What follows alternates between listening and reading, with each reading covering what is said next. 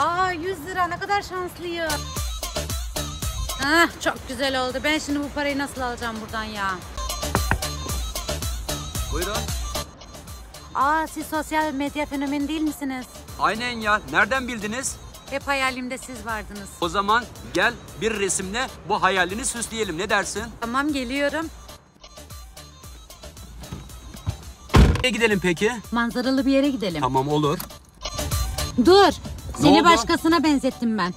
Hayda.